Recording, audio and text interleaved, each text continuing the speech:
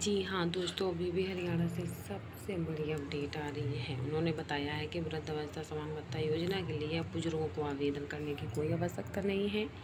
वृद्धावस्था समान भत्ता योजना को परिवार पहचान पत्र के साथ जोड़ दिया गया है। परिवार पहचान पत्रों में नागरिक द्वारा दर्ज करवाई गई आयु को ही समाज कल्याण विभाग वेरीफाई करेगा। उसकी पेंशन मंजूर करेगा। परिवार पहचान पत्र एक ऐसा प्लेटफॉर्म है जो विभिन्न योजनाओं को क्रियावंत करने में अपना रोल अदा कर रहा है।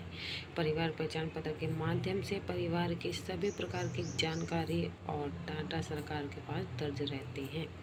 सबसे बड़ी अपडेट ये आ रही है कि फिर साल, सालाना तीन लाख पचास हज़ार से अधिक आय वालों की कटी गई पेंशन।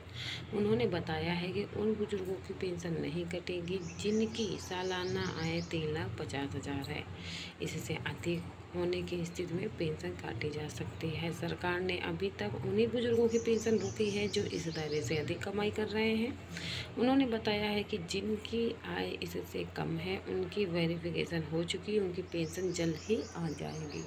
तो दोस्तों, जुड़े रहें आप सभी लोग हमारे साथ, हमारे वीडियो को अंत तक देखें। चैनल को लाइक सब्सक्राइब करना मत भूलिएगा। धन्यवाद।